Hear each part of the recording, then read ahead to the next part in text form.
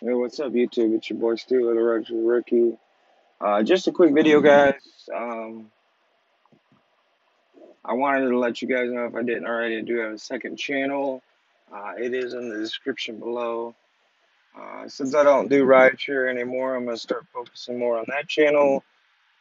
It's called Stevo News and Law. Uh, check it out. Don't forget to subscribe, hit the like, and the bell notification uh, so you'll be notified when I come out with videos. Um, just more important things going on in the world that need to be discussed.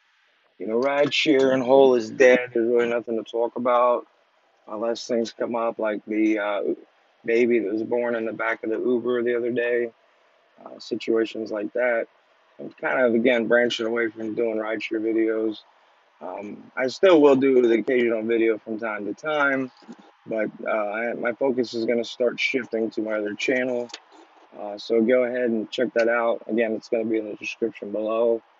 And um, if I don't make another video between now and tomorrow, just want to take a moment and uh, wish all you fathers out there a very happy Father's Day. And I uh, hope you all have a great weekend.